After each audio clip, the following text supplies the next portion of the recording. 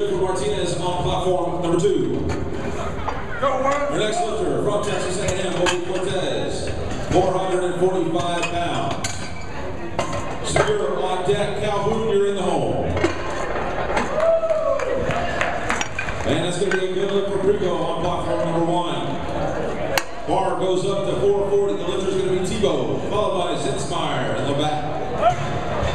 Come on, Cortez.